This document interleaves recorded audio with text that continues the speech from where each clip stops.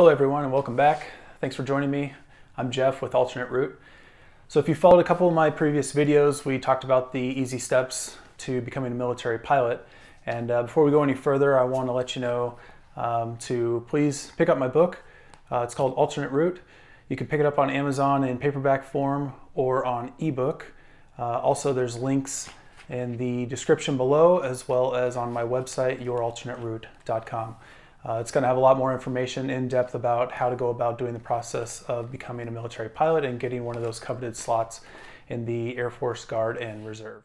So today I want to talk about the UPT pipeline, kind of what's going on, how it's been affected by the pandemic, and what the Air Force is doing to address its pilot shortage. And yes, there is a pilot shortage, and I'll explain in a little bit.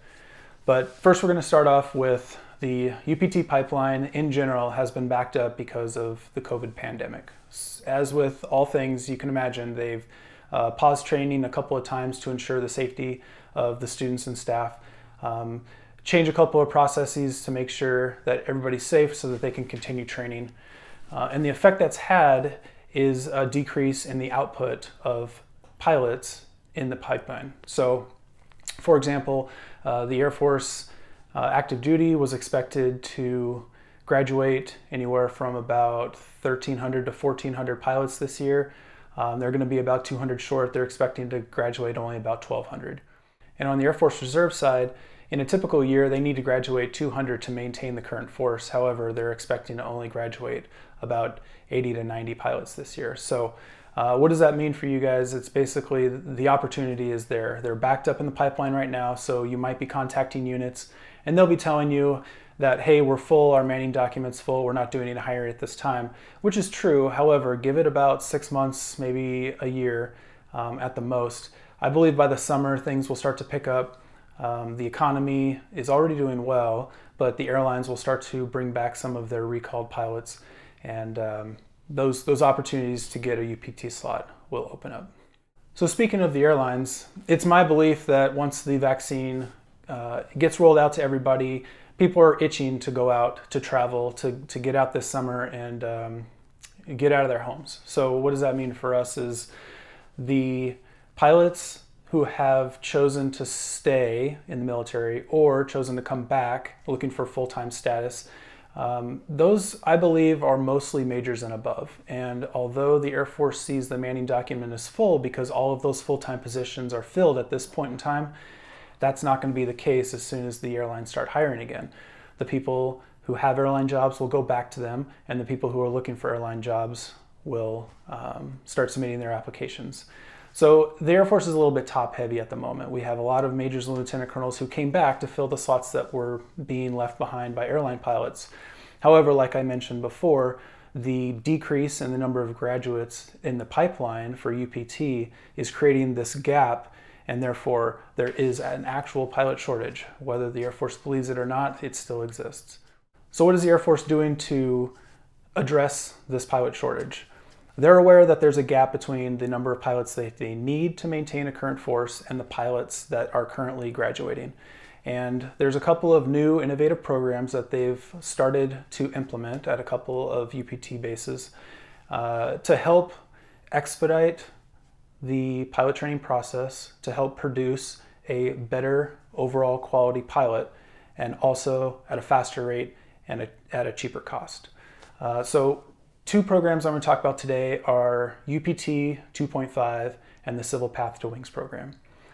UPT 2.5 is an extension of the UPT Next program, which was supposed to be a proving ground that the use of virtual reality, artificial intelligence, and a um, modified syllabus can produce a, a better pilot in a faster time at a cheaper cost. Uh, so that was done for about a year uh, at 2019 2020 timeframe. Um, the lessons learned out of the UPT Next program became UPT 2.5. Now, UPT 2.5 is the combination of uh, virtual reality simulators replacing some flight time. So you have a decreased flight time in the aircraft. You have increased amount of simulator time. It's also a self-paced program which allows students to accelerate through them uh, through the program themselves. They don't have to wait for the rest of their class to graduate the contact phase before they move on to the instrument phase, for example. They move at their own pace. Um, so the syllabus is adjusted to the student, as well as using, like I said, artificial intelligence in that virtual reality world to help uh, really cement those lessons um, in the flying portion of the syllabus. So that's only available at Randolph Air Force Base right now and at Vance Air Force Base. They're looking to um, expand it to further UPT bases in the next year. Um, but that, that's an exciting new program to help students uh, expedite through the uh, UPT syllabus and, and graduate early. Now, another program I want to talk about is the Civil Path to Wings program. And that is where they're using experience from people in the civilian world who already have a commercial license. Uh, maybe they're already a regional pilot or CFI. They have flying time, they have experience, and the Air Force wants to utilize that, give them credit for that experience, and accelerate them as well through the UPT pipeline. So, because this program is new to the Air Force and they're looking to implement it about June 2021, so they've already started uh, the application process for the first class to start in summer of 21. Um, I'm going to read off a couple of the requirements for the Civil Path to Wings program to kind of give you an idea of what they're looking for, uh, how you can qualify, and then also what it means to uh, accelerate through the program. There's a couple different um, scenarios, and so I'm just going to go through those right now. Uh, so forgive me for reading this, but uh, the Civil Path to Wings program is only for pilots who will fly mobility aircraft, special operation forces, or combat control and intelligence, surveillance and recon. So it's not for fighter or bomber aircraft, it's only for crew aircraft and those um, services. So the basic eligibility requirements are 250 hours of fixed wing time, a commercial certificate with an instrument rating, a current second class medical, three letters of recommendation, a sponsorship from an Air Force Reserve flying unit, and a current PICSM score. So uh, I guess I failed to mention this is an Air Force Reserve program only, and so you need to contact uh, Air Force Reserve unit, let them know that you're interested in the Civil Path to Wings program. They have to then basically hire you and sponsor you, and then you will move on in the process of becoming uh, part of the Civil Path to Wings program. Now, the uh, PICSM score, like we talked about in some of my other videos, is the um, AFOQT, the TBAS, and any flying time that you have. That Those three components uh, give you a PICSM score, so you need to have gone through each of those phases prior to uh, submitting your application. Okay, so if you're interested in that program, you have to fill out a Civil Path to Wings candidate data sheet. Um, that's available. I'll give you the website uh, at the bottom uh, in the details of this video. Um, but once you've submitted your application, the Air Force Reserve is going to complete a competency evaluation to determine uh, where you are in your experience level and where they should insert you in the UPT pipeline. So again, I'm going to read this. Um, the competency uh, validation is uh, robust assessment of general flying knowledge and instrument knowledge. Applicants should be prepared for a 75 question closed book test, a 100 question tabletop question and answer session, and emergency procedures. Uh, walkthrough, as well as a 1.5 hour simulator assessment. Uh, the written exam is uh, the FAR AIM focus with heavy emphasis on IFR and national airspace information. So based on how well you do on that, the Air Force Reserve will give you a score of qualified, well qualified, or extremely well qualified. And that means if you are qualified, you'll be scheduled for your Flying Class 1 physical at Wright-Patterson Air Force Base, uh, and you will attend the UPT 2.5 program, uh, like I had mentioned earlier. The well qualified, you will be scheduled for your Flying Class 1 physical, and you will uh, bypass the T6 phase of UPT and be um, proceed directly to the T1. So you will skip basically six months of uh, the UPT syllabus, go straight into T1s, which again is about six months long, and then graduate with your wings.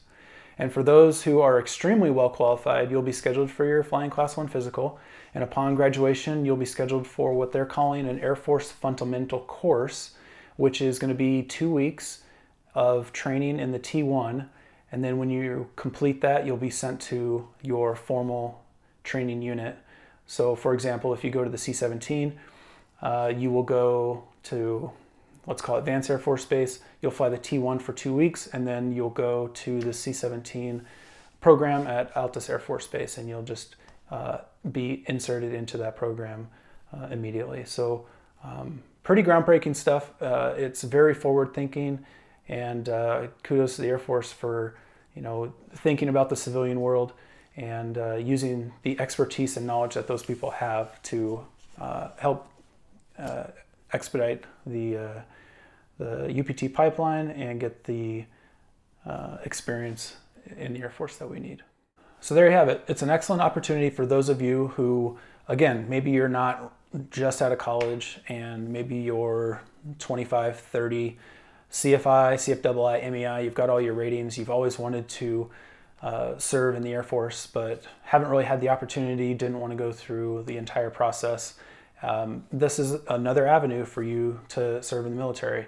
And uh, I highly recommend that you uh, get some more information about it. Again, I'm gonna I'm gonna throw a link down below. But um, one thing you can do is uh, just go to Google, search AFRC UFT Guidebook, and uh, it should be the first search result there. Go ahead and click on that, download it, save it as a PDF to your desktop, and then uh, associated with that document is going to be a whole bunch of attachments that will help you through your process.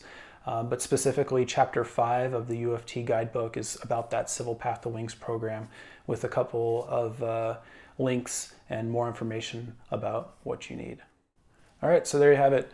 Uh, these are just additional ways for you to serve. They're still doing the traditional UPT pipeline for everybody, 52 weeks long. You do the T6 phase, you do the T38 or the T1, and you track uh, to your specific aircraft. However, in addition to that, they're trying to look at new innovative ways to get more candidates into the pipeline and get them through faster. So um, there's still ROTC, OTS, Guard, Reserve, um, typical uh, pipelines, um, but I'm just trying to inform you guys about some some new uh, programs that the Air Force is trying to implement. So uh, if this helped you out, I really uh, would appreciate uh, subscribe, comments, uh, ask me questions. Uh, you go to my website, youralternateroute.com. You can uh, email me directly with any questions that you have. I'd be happy to talk to you guys. I know everybody's situation is different, and uh, I want to help you reach your goals of uh, becoming an officer and a pilot in the Air Force. So thanks, and uh, we'll see you next time.